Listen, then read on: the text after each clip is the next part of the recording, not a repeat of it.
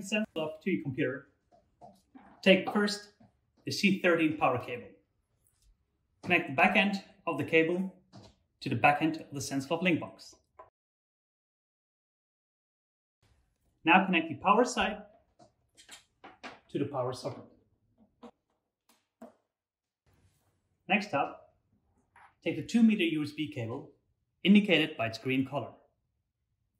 Take the micro USB side and put it in the backside of the SenseGlove link box. Put the USB side into your computer. The blue indicator light on the SenseGlove link box should be on now.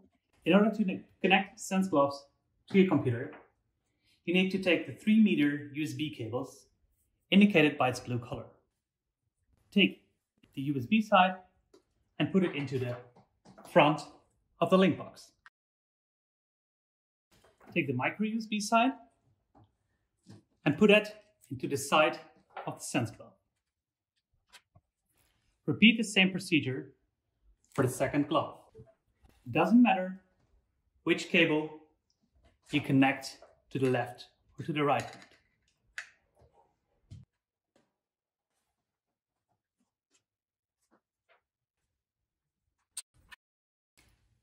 Now your SenseGloves should be ready to use.